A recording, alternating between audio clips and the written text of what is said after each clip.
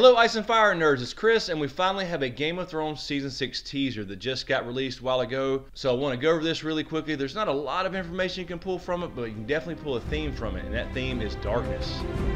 And I'm fucking loving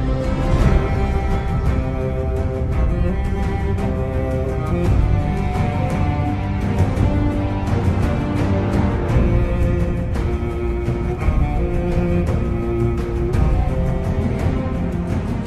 Definitely have a theme of darkness in this teaser. I mean, you're using the House of Black and White. It's the place of death. It's all gray and drab and dreary, and you have the candles flickering and dead faces on the wall. And then, of course, you have this creepy whispering as they come in and pan around the room a little bit. And speaking of the whispering, I really couldn't make out anything there specifically. I think it was just there for effect. So if you guys were able to make out anything, please let me know. But what's really interesting here is it goes to the faces of characters long dead and faces of characters that are currently still alive. We go back to our original Man of Honor from season one, and it quotes the line he said back to Bran, the man that passes the sentence should swing the sword. And then we hear Robb's voice, and it goes to Robb's face and quotes his line as he was talking to his mother Catelyn during the War of the Five Kings.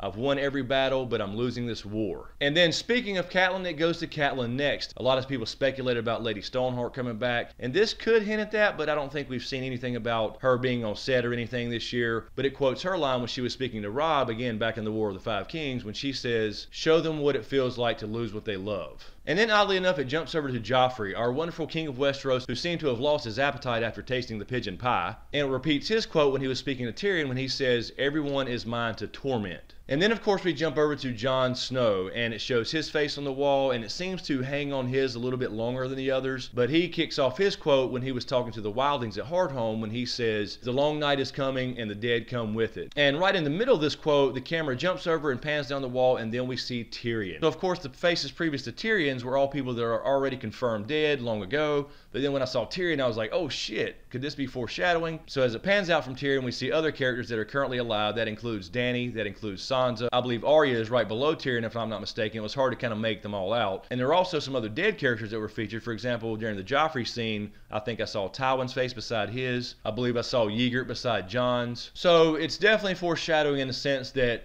Valar Morghulis, all men must die. So one of the things I noticed about the overall theme of this little teaser was that it featured mostly Starks. We had Jon, obviously, we had Ned, we had Catelyn, we had Robb, all with famous quotes that they said in the past. If we're getting into Winds of Winter territory, that book was originally supposed to be titled A Time for Wolves. So that's telling me, in a sense, as far as this season goes, that it's time for some damn payback. It's going to be dark, it's going to be bloody, but the other thing I noticed, of course, is Jon is in the middle of all this. You have two real big storylines. You have the upcoming War for the Dawn, the White Walker invasion, where they're threatening to take over all of Westeros and destroy everything and bring in a winter that never ends.